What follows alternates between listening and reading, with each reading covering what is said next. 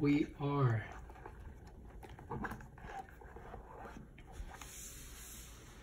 Now the first thing that catches your attention on this particular watch is of course the deep red rays of the dial.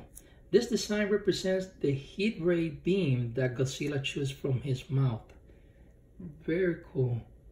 It's a little hard to see here with this light, but it's a really nice dial. The case is a 44.5 by 14.3 millimeters titanium. Very light and strong. And I really like these sharp edges that they did for the case. Very nice. Now the second thing that catches your attention obviously is the strap. Look at the details of this strap. This resembles Godzilla's skin.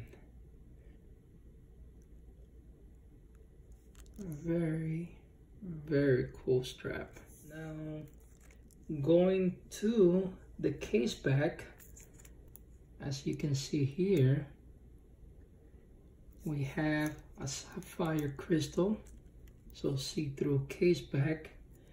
And this case back has been stamped with the scene of Godzilla's destroying the clock tower on the main intersection of Ginza district. Bad monster.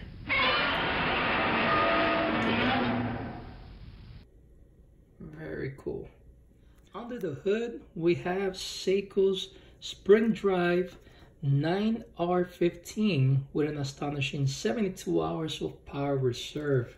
So this watch will go for quite a while before you have to wind it again if you're not using it that much. So this is a very great watch for watch collectors looking for something different or for Godzilla fans. So if you're interested, you might you might as well go right now to our website at blacktagwatches.com for more information and pricing.